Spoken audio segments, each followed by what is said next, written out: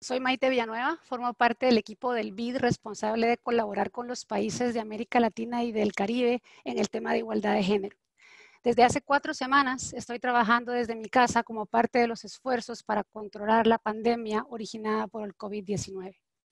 Formo parte del equipo que está enfocado en alertar y colaborar con los gobiernos de nuestra región sobre las consecuencias que esta pandemia tendrá en el incremento de la violencia contra las mujeres y contra las niñas como producto del confinamiento y del estrés que está provocando esta crisis.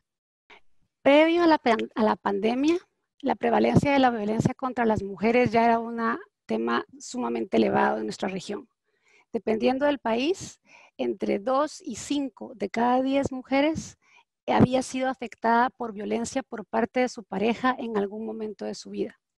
Lo que la evidencia nos está diciendo nos alarma. Por ejemplo, en China, esta violencia durante la, pandemia se triplicó. En Argentina, desde que ha iniciado el confinamiento, hay reportes que hay 25% de incremento en las llamadas a las líneas de emergencia de violencia contra la mujer.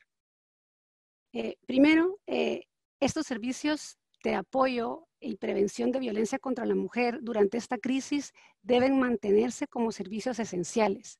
Segundo, es importante que las personas que están trabajando en los call centers que reciben las llamadas de emergencia para atender a las mujeres puedan seguir trabajando de manera remota. Actualmente, la mayoría de call centers no pueden trabajar de manera remota.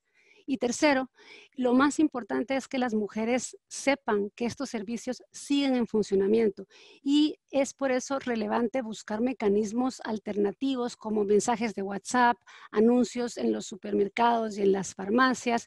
Inclusive Argentina implementó un mecanismo muy interesante que las mujeres cuando van a las farmacias y piden una mascarilla o un barbillo rojo, ese es un signo que ellas están sufriendo violencia en su casa y las farmacias tienen la obligación de alertar a la policía de lo que está sucediendo.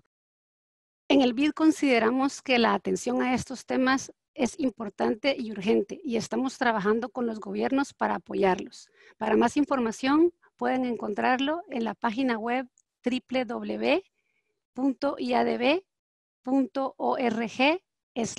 coronavirus.